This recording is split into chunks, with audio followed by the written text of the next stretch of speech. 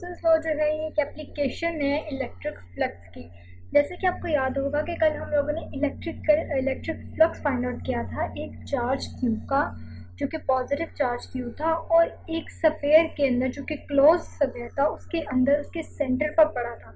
तो हमने कहा था कि जब भी कोई क्लोज्ड बॉडी हो क्लोज्ड बॉडी और रेगुलर शेप में हो तो उसका जो इलेक्ट्रिक फ्लक्स होता है उसका इलेक्ट्रिक फ्लक्स हमेशा जो है one divide by epsilon naught जिस मीडियम के अंदर वो है इनटू जो चार्ज उसके अंदर क्लोज है, उसके बराबर होता है। सिमिलरली आज इसी से मिलती जुलती एक एप्लीकेशन और है इलेक्ट्रिक फ्लक्स की, जिसे हम लोग गॉसेस लॉ कहते हैं।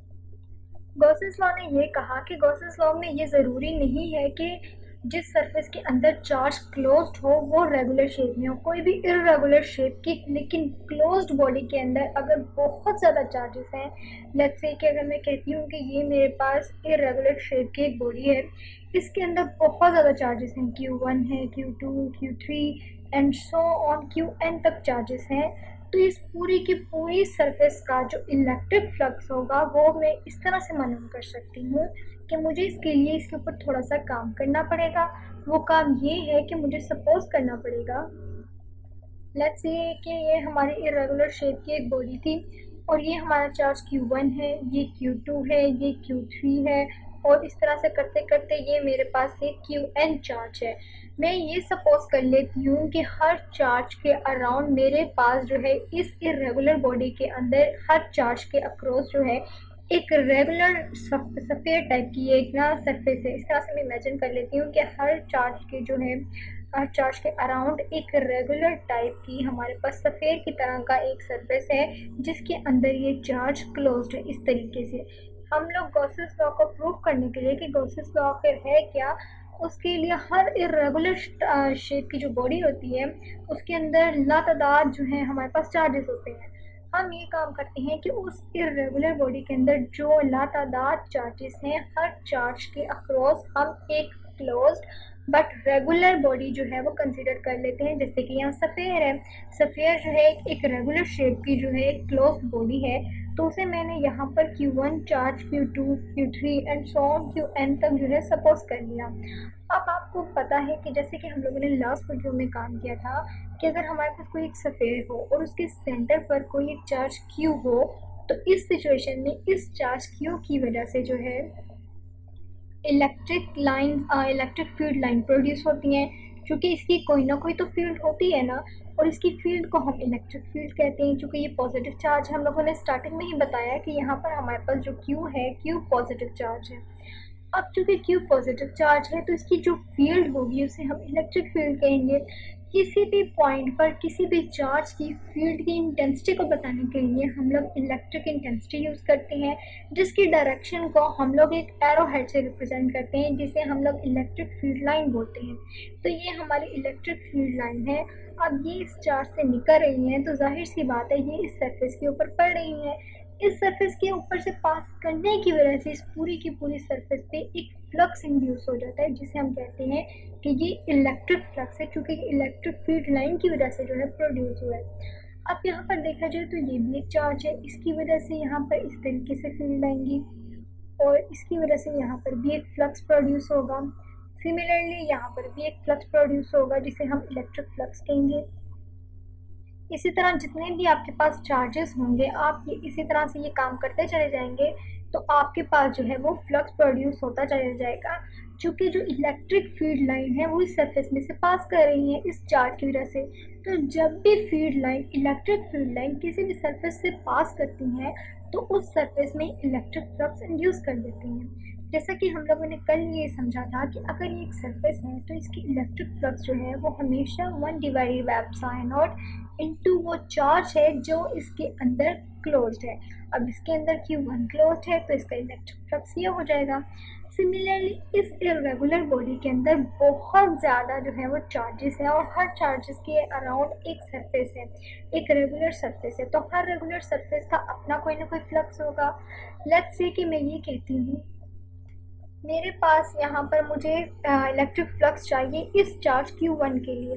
तो इस चार्ज क्यू वन के लिए जो इलेक्ट्रिक फ्लक्स आएगा one by epsilon naught into Q one आ जाएगा। सिमिलरली अगर मैं ये कहूँ कि जो चार्ज क्यू टू है, इसकी वजह से मुझे इलेक्ट्रिक फ्लक्स मालूम करना है इस इरेगुलर बॉडी के अंदर तो वो one divided by epsilon naught into Q two आ जाएगा। इसी तरह अगर मुझे इस चार्ज क्यू थ्री के लिए इलेक्ट्रिक फ्लक्स फाइंड आउट करना है तो उसे मैं one by epsilon naught into Q three लिख सकती हूँ। और इसी तरीके से ये काम करते करते मैं एक चार्ज n तक पहुँच जाती हूँ, जिसका इलेक्ट्रिक फ्लक्स जो है, इस चार्ज Q का, Qn का वन डिवाइडेड बाई एप्साइन और एप्साइन और जो है ये परमिटिविटी ऑफ़ स्पेस है, यानी जिस मीडियम के अंदर आप काम कर रहे हैं या उससे रिलेटेड है। यहाँ पर मुझे क्यू एन लिखना पड़ेगा। तो इस तरीके से करते करते मैं डिफरेंट चार्जेस के इलेक्ट्रिक फ्लक्स फाइंड आउट कर लेती हूँ।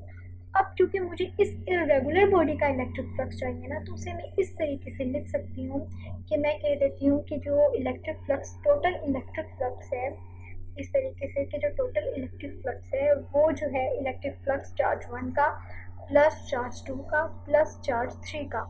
एंड सो ऑन जो इलेक्ट्रिक फ्लक्स है चार्ज नंबर एन तक का जो इलेक्ट्रिक फ्लक्स है, वो सारे के सारे इलेक्ट्रिक फ्लक्स हर चार्ज का इलेक्ट्रिक फ्लक्स एडअप होके इस पूरी की पूरी इरेगुलर बॉडी का टोटल फ्लक्स बता देता है. अगर मैं इसी इस तरह से लिखूँ कि अब जो मेरे पास टोटल फ्लक्स आ जाएगा, यहाँ पर टोटल फ्लक्स है वो one divided by epsilon naught into Q one plus one divided by epsilon naught into Q two plus one divided by epsilon naught into Q three plus on और Q N तक। One by epsilon naught into Q N यानी कि ये हमारे पास N वाले chart का जो है इलेक्ट्रिक फ्लक्स आ गया। अब चूँकि हमारी जो परमिटिविटी ऑफ़ स्पेस है, ये तो हमारा मीडियम सेम ही रहता है। इसलिए अगर मैं इसे कॉमन ले लूँ और अंदर ये सब चार्जेस को Q1 को plus Q2 plus Q3 so on Q N add up add up कर लूँ। और एडअप करने के बाद कहूँ कि ये कैपिटल चार्ज Q है जो कि उस इरेगुलर बॉडी के अंदर मौजूद है।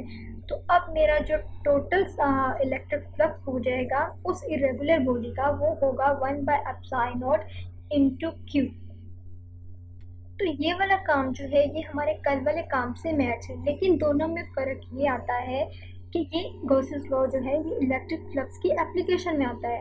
गोसिस लॉ जो है, ये कहता है कि अगर कोई इरेगुलर बॉडी हो और उस इरेगुलर बॉडी के अंदर काफ़ी ज़्यादा चार्जेस हों तो उस इरेगुलर बॉडी का जो इलेक्ट्रिक फ्लक्स है, वो हमेशा one divided by epsilon naught into charge जो उसके अंदर क्लोज्ड है, उसके प्रोडक्ट के इक्वल आ जाता है। तो ये हमारा गॉसेस लॉ था। आगे से मज़ीद गॉसेस लॉ की भी एप्लीकेशन हैं। जैसे कि ये एक इमेज देख सकते हैं आप, ये एक इरेगुलर बॉडी है, इसके अंदर काफ़ी ज़्यादा चार्जेस हैं। तो हर चार्जेस की वजह से जो है इलेक्ट्रिक फ़ील्ड और इलेक्ट्रिक फ्लक्स डिफरेंट होता है। तो इस तरीके से जो सरफेस होती है, इसे हम लोग गोशियन सरफेस बोलते हैं। और इस सरफेस का जो इलेक्ट्रिक फ्लक्स निकलता है, वो गोसेस लो के थ्रू निकलता है क्योंकि इस सरफेस के अंदर मौजूद हर चार्ज की वजह से प्रोड्यूस होने वाले इलेक्ट्रिक फ्लक्स को हम लोग एडअप करके इस पूरी की पूरी सरफेस का जो है, वो टोटल फ्लक्स बताते हैं। कि टोटल इलेक्ट्रिक फ्लक्स इस पूरी की पूरी सरफेस का हमेशा one by epsilon naught into charge जो उसके अंदर क्लोज्ड है, सारे के सारे चार्जेस का जो addition charge capital Q charge है उसके प्रोडक्ट के इक्वल है। इसकी कुछ एप्लीकेशन है, जिनमें से फ़र्स्ट एप्लीकेशन हम ये वाली करते हैं। लेट्स से कि मैं ये कहती हूँ कि जो फ़र्स्ट एप्लीकेशन है, उसमें हम लोग करते हैं कि हम डिटर्मिनेशन करते हैं डिटर्मिनेशन ऑफ़ ई ई जो है, हम लोग ई e को फाइंड आउट करते हैं। Inside inside hollow charged sphere या चार्ज्ड सरफेस के लिए। चार्ज, आप चार्ज टू सरफेस भी कह सकते हैं और चार्ज सफ़ेयर भी कह सकते हैं। लेट्स से कि मुझे ई e को डिटरमिन करना है। अगर तो मैं सफ़ेयर की बात करूँ, अगर लेट्स से मैं होलो का मतलब ये है कि अगर आपके पास कोई एक सफ़ेयर है इस तरीके से और इसके ऊपर चार्ज मौजूद है? लेट्स से कि मैं कहती हूँ कि इसके ऊपर मेरे पास जो चार्ज है, वो पॉजिटिव चार्ज है, इसके बाहर वाली साइड पे, यानी कि इसके सरफेस के बाहर मौजूद है, लेकिन अंदर से ये होलो है, अंदर इसके पास कोई भी चार्ज नहीं है। तो इस सिचुएशन में अगर मुझे ई e डिटर्मिन करना हो तो इस सिचुएशन में मैं ई e किस तरीके से डिटर्मिन कर सकती हूँ? ये तो हमारे पास एक सफ़ेयर आ जाता है ना सफ़ेयर का केस इसके अलावा कोई भी सरफेस हो, जैसा कि जैसे कि कोई इस तरह की हमारे पास क्लोज्ड व इरेगुलर जो सरफेस आ जाए जिसके बाहर पे प्लस पॉजिटिव चार्जेस हों, लेकिन अंदर कुछ भी ना हो, अंदर से ये होलो हो तो इस सिचुएशन में इन दोनों केसेस में जो ई e है, अगर हमें वो डिटरमिन करना हो तो उसे हम किस तरीके से मालूम कर सकते हैं? ई e जो है गोसस लॉ के मुताबिक इस सिचुएशन में इस तरह से मालूम की जा सकती है कि हमें मालूम है कि जो हमारा इलेक्ट्रिक फ्लक्स होगा, इस सिचुएशन में इलेक्ट्रिक फ्लक्स हमेशा बराबर होता है।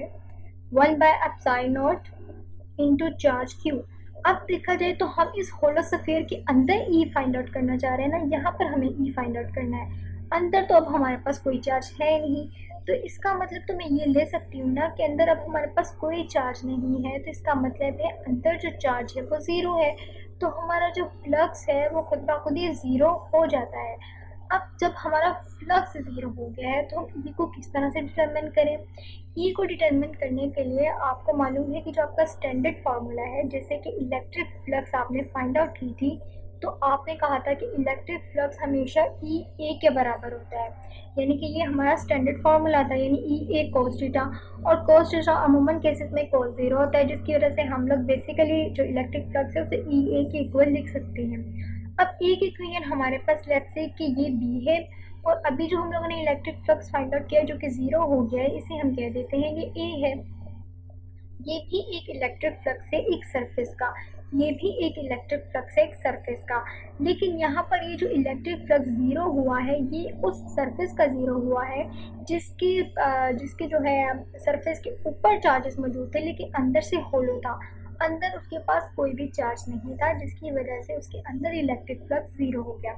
अगर मैं ये कहूँ कि इन दोनों इक्वेशन की लेफ़्ट हैंड साइड इक्वल है तो इनकी राइट हैंड साइड को भी तो मैं इक्वल ले सकती हूँ ना इस तरीके से। तो अगर मैं ई फाइंड आउट करना चाहूँ तो मैं zero divided by vector area लिख कर इसे कह सकती हूँ कि हमारी जो ई e है वो ज़ीरो हो जाता है। इसका मतलब है कि अगर हमारे पास कोई भी क्लोज्ड सरफेस हो, जिसके ऊपर चार्ज मौजूद हो, लेकिन अंदर से वो होलो हो, अंदर कोई भी चार्ज मौजूद ना हो तो उस सरफेस के अंदर अगर हमें अंदर इलेक्ट्रिक फ़ील्ड फाइंड आउट करनी हो ई फाइंड आउट करनी हो तो उसके अंदर जो ई e है वो ज़ीरो हो जाती है। क्योंकि उसके अंदर चार्ज ज़ीरो है। चार्ज के ज़ीरो होने की वजह से हमारा इलेक्ट्रिक फ्लक्स ज़ीरो है और इलेक्ट्रिक फ्लक्स ज़ीरो होने की वजह से हमारी ई e जो है वो ज़ीरो हो जाती है। तो ये जो है हमारे गोसेस लॉ की पहली एप्लीकेशन थी कि हम ई e को किस तरह से डिटर्मिन कर सकते हैं, किसी भी होलो सफ़ेयर या होलो सरफेस के अंदर, जिसके बाहर तो चार्ज हो, लेकिन अंदर से वो होलो हो। गॉसिस लॉ की दूसरी एप्लीकेशन ये है कि अगर हमें ई e डिटरमिन करना हो, यानी कि ई e के बारे में डिटरमिन करना हो, कोई एक ऐसी चार्ज शीट हो जिसकी जो लेंथ है, जिसकी लेंथ जो है लेंथ इन्फिनिटी हो तो उसके बारे में ये जो है इलेक्ट्रिक फ़ील्ड जो है, उसका हम किस तरह से डिटरमिन कर सकते हैं? हम इस तरीके से डिटरमिन कर सकते हैं कि लेट्स से कि ये हमारे पास एक सरफेस है। इस सरफेस को हम लोगों ने पॉजिटिव चार्ज कर लिया, यानी कि पूरी की पूरी पॉजिटिव चार्ज है। अब इस सरफेस के ऊपर हम लोग ये इमेजिन कर लेते हैं कि इस सरफेस के अंदर हम लोगों ने एक सिलेंडर टाइप का जो एक सिलेंडर है, इस तरह से हमारे पास इस तरह से सिलेंडर टाइप की बॉडी है, जिसे हम लोगों ने इस पेपर के अंदर किसी तरीके से सुराख करके इसके अंदर फिट कर दिया है। तो अब लेट्स से कि इस सिलेंडर के अंदर से भी electric line electric field line गुजरेंगी, और इसकी इस साइड से भी गुजरेंगी, इस साइड से भी गुजरेंगी, और इस सरफेस के ऊपर से भी गुजरेंगी। क्योंकि सरफेस के ऊपर चार्ज है, और चार्ज की वजह से जो है इसकी इलेक्ट्रिक फ़ील्ड प्रोड्यूस होती है, और इलेक्ट्रिक फ़ील्ड के प्रोड्यूस होने की वजह से इसका कोई ना कोई अपना एक फ्लक्स बन जाता है, जिसे हम इलेक्ट्रिक फ्लक्स कहते हैं। अब ये पूरी की पूरी एक सरफेस है। इस सरफेस का जो वेक्टर एरिया है, इसका वेक्टर एरिया इस तरफ़ होगा और इसका जो हमारे पास इलेक्ट्रिक फ़ील्ड की डायरेक्शन है, जो इलेक्ट्रिक फ़ील्ड लाइन इसमें से पास हो रही है, वो ये है और वेक्टर एरिया हमेशा सामने की जानीब है। ये दोनों हैं। इनका जो आपस में एंगल है, वो ज़ीरो है क्योंकि ये दोनों आपस में पैरेलल हैं। दूसरी चीज़ ये कि लफ्स से कि मैं कहती हूँ कि इस पूरी की पूरी जो सिलेंडर टाइप की हमारे पास एक बॉडी है, इसमें मैं एक पॉइंट पी कंसीडर कर लेती हूँ। जैसे कि मैं उस पॉइंट पी को यहाँ पर लिख लेती हूँ। अब इस पॉइंट पी पर, इस साइड पर, इसके ऊपर वाली सरफेस पर भी एक जो है इसका वेक्टर एरिया होता है क्योंकि ये सफ़ेयर है और सामने की तरफ़ भी इसका एक वेक्टर एरिया होगा। ये सामने की तरफ़ इसका एक वेक्टर एरिया और सामने की तरफ़ इसमें से पास करने वाले इलेक्ट्रिक फ़ील्ड लाइंस और इस तरह से इस सरफेस के ऊपर भी एक वेक्टर एरिया होगा ए और इलेक्ट्रिक फ़ील्ड लाइन चूँकि इस डायरेक्शन में पास हो रही है, इस पूरी पूरी की पूरी सरफेस के अंदर से इस तरीके से चार्ज इस सरफेस का जो वेक्टर एरिया है सामने की तरफ़ है, हमारी जो ये शीट है और ये हमारी इलेक्ट्रिक फ़ील्ड लाइन तो इनका एंगल तो ज़ीरो हो गया। और ये वाला जो सरफेस का सामने वाला पार्ट है, इस सफेरिकल सरफेस का, इस सफेरिकल बॉडी का सिलेंडर का जो सामने वाला हिस्सा है, उसका भी वेक्टर एरिया इस तरफ़ है और इलेक्ट्रिक फ़ील्ड लाइन इस तरीके से है। लेकिन जो इसके ऊपर वाली सरफेस है, उसमें कोई भी पॉइंट ले लिया जाए, यहाँ पर कोई पॉइंट ले लिया जाए, यहाँ पर या यहाँ पर, जैसे कि मैंने पी यहाँ पर ले लिया। इस पी के ऊपर जो वेक्टर एरिया है, वो इस डायरेक्शन में जबकि इलेक्ट्रिक फ़ील्ड लाइन की जो डायरेक्शन है, वो तो सिमिलर रहेगी। इसका मतलब है यहाँ पर जो एंगल है वो 90 बन जाएगा। तो जब भी हमारे पास एक लार्ज शीट हो जो कि चार्ज हो और इन्फिनिटी उसकी लेंथ हो और उसके अंदर हमें कोई भी एक बॉडी लगा लेते हैं आ, कोई भी एक सिलेंडर वगैरह कुछ भी रख लें तो उस सरफेस का जो कोई भी या आप सिंपल ये कह सकते हैं कि अगर आपके पास कोई भी एक चार्ज शीट है जिसकी लेंथ जो है इन्फिनिटी है और उसके बारे में आपको डिटर्मिनेशन करनी हो ई e की तो आप जो है उस सरफेस का इलेक्ट्रिक फ्लक्स इस तरीके से निकाल सकते हैं कि इसमें तीन इलेक्ट्रिक फ्लक्स निकलेंगे। एक इसे कह लीजिए कि ये ई वन ए वन है, ये ई e टू और ए टू और ई टू है और सेकेंड वाले ये हैं ए थ्री और ई e थ्री जैसे कि ये जो ऊपर जिस पर नाइन्टी का एंगल बनता है। तो electric flux plus one electric flux plus two electric flux plus three अगर ये आपको क्लियरली समझ नहीं आ रहा तो इसे एक बार और इस तरह से समझ लेते हैं ताकि आसानी से समझ आ सके। जैसे कि मैं इसे इस तरह से समझाने की कोशिश करती हूँ। लेट्स से मैं ये कह रही हूँ कि इस सरफेस के ऊपर का जो वेक्टर एरिया है, उसकी डायरेक्शन ये है और इस पूरी सरफेस में जो इलेक्ट्रिक फ़ील्ड लाइन है, वो इस डायरेक्शन में पास कर रही है इस तरीके से। ये ई e की डायरेक्शन है ये ई e की डायरेक्शन है। अब इस सरफेस का वेक्टर एरिया भी तो सामने की डायरेक्शन में होगा, ये ए है और इसमें से पास करने वाली इलेक्ट्रिक फ़ील्ड लाइंस भी ये है। इस डायरेक्शन में अपवर्ड डायरेक्शन में, सामने की डायरेक्शन में फॉरवर्ड डायरेक्शन में। इसे मैं ई टू और ए टू कह देती हूँ, इसे ई वन और ए वन कह देती हूँ।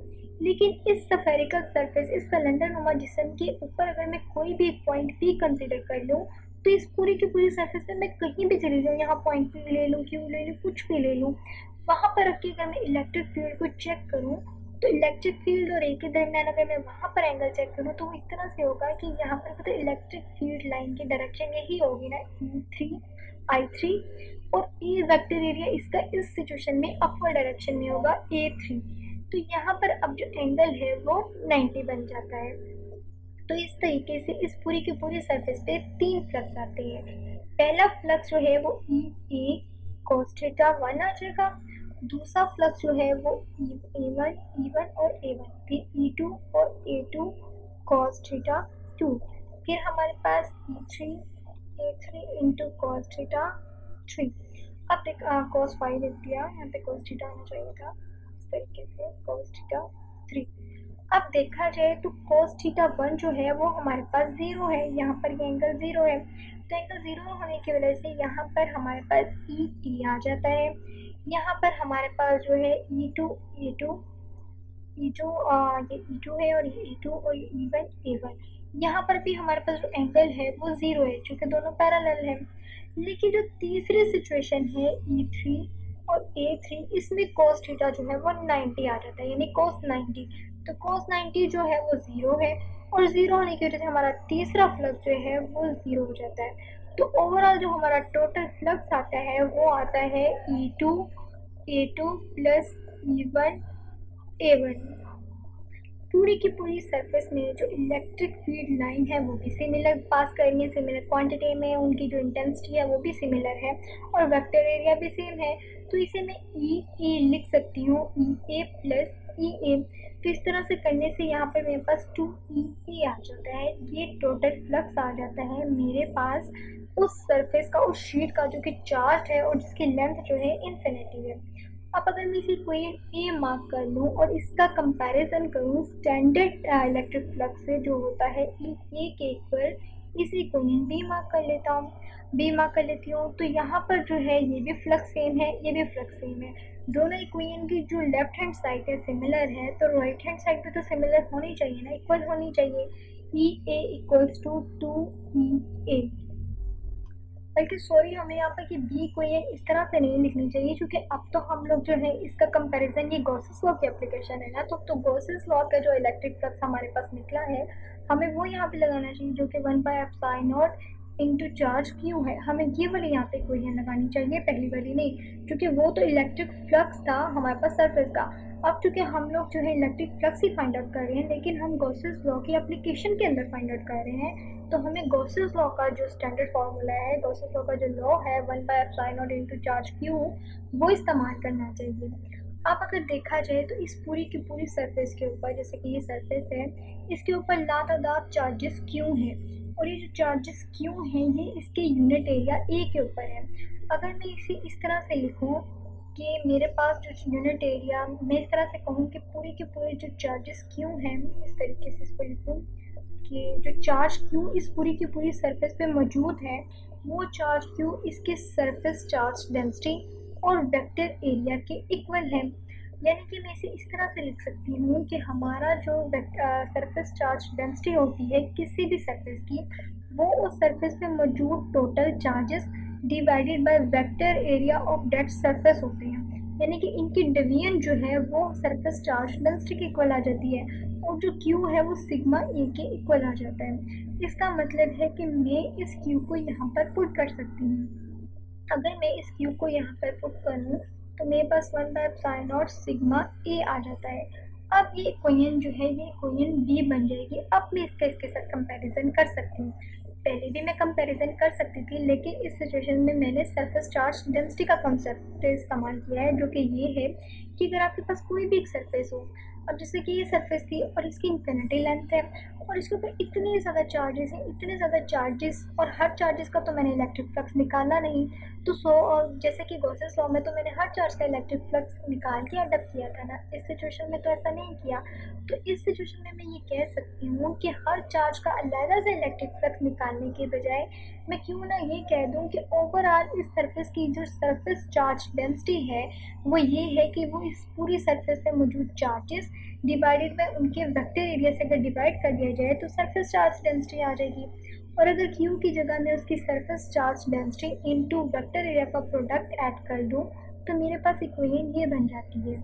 अब अगर मैं इन दोनों का कंपैरिजन करूँ, यानी कि one by epsilon naught sigma A into हमारे पास जो टू ई ए आया है इस सिचुएशन से ए ए से कैंसिल आउट हो जाता है।